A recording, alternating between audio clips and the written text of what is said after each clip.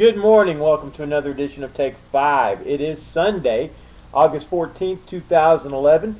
Really glad you're here. For those of us who have stayed with us through all of Matthew and all of Mark that we've done so far, thank you so much for being my loyal viewers.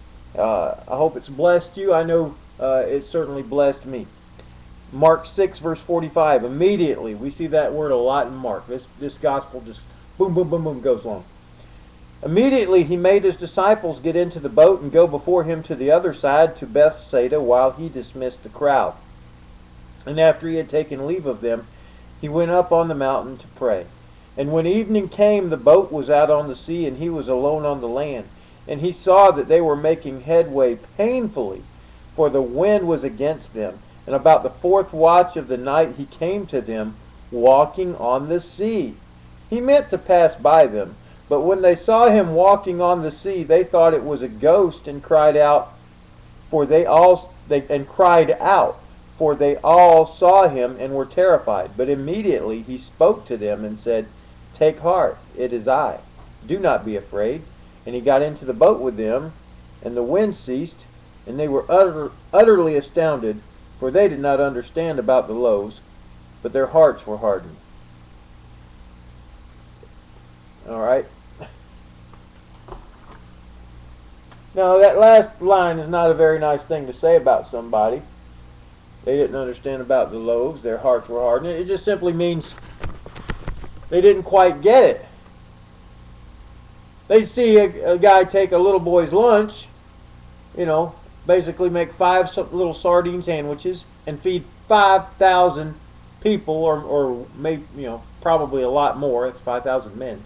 So probably 10, 15,000 people, something like that, with five sardine sandwiches, and pick up 12 basketfuls left over.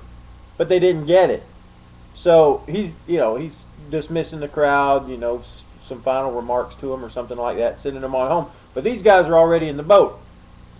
Now, he says his plan is he's just going to walk by them. He just wants to spend time with his father. So he's, he's you know, he's, he goes up on the mountainside and he prays and uh, you know, he sees they're having a little trouble. He's probably he's just going to walk by them and get to the other side and spend some more time in prayer, probably. But they see him and they they think it's a ghost.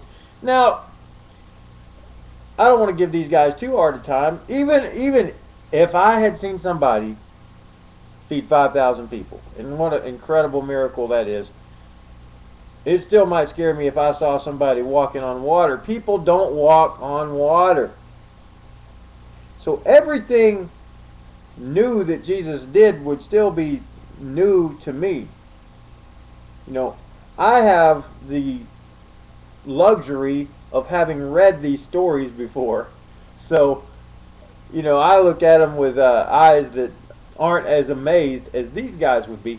And so they were scared. They thought it was a ghost you know, and you got all that wind and all that, you know, water spray and all that in their eyes, and, and it's really late and they've been up a long time, you know, uh, I don't want to give them too much trouble uh, of a hard time, but it says their hearts were hardened.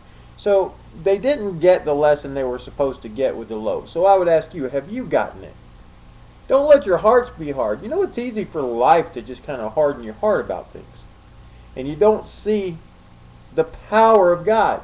What you see is the circumstances. You see the bills.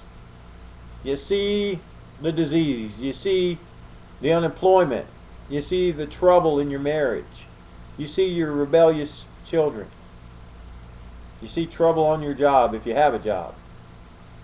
You know, life is tough. You know, your car messes up. Your Neighbors are mean to you. There's just so many things. You see all that, but you don't see this awesome, amazing God.